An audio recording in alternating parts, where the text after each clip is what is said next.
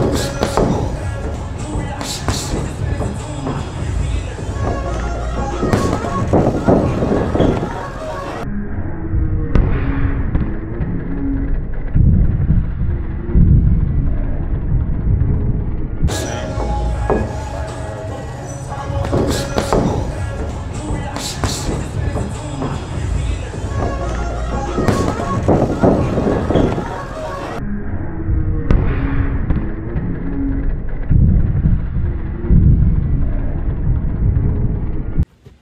You know, guys, in regards to uh, switching trainers, it had nothing to do with bad blood or ego or uh, any hard feelings. It's just, uh, I would say, uh, time.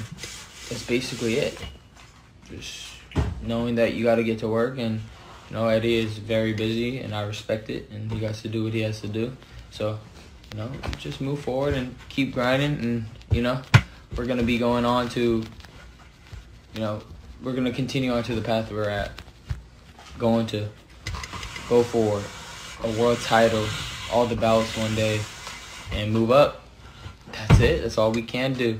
And keep inspiring people. And uh, I'm going to do my best. I'm definitely going to do my best. My hand is back. I'm throwing it full blast. Everything is great. Uh, everything's good now. So uh, it's gonna be uh, it's gonna be good. Love you guys.